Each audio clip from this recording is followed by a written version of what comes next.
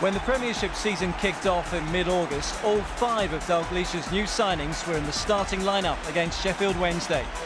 Without the injured Shearer and the departed Ferdinand, the goal-scoring role was up for grabs, and Tino grabbed it. Oh, that's a lovely first touch, and Tomasson is away. What a start this could be for Newcastle. And Pressman stood up. Jon Dahl Tomasson could have set St James's Park alight then.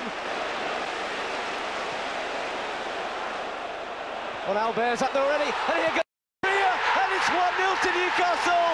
Tino Asprilla, 1 minute 41 seconds gone, and Asprilla is jumping.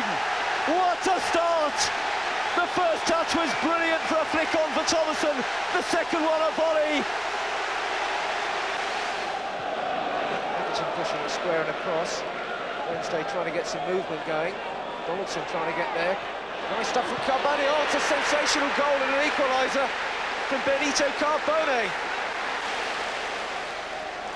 Oh, fell nicely for him. Tomasson's made a good run through the middle. This time the flag stays down. Jon Dahl Tomasson. Asprilla.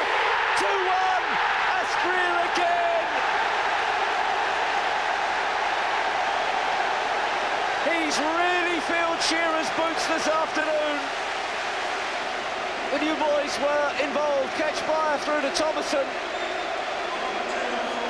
That was a nice touch. Asprilla was straight onto it in the back of the net. It's 2-1 to Newcastle. It's a second goal for Faustino Asprilla. Very cool.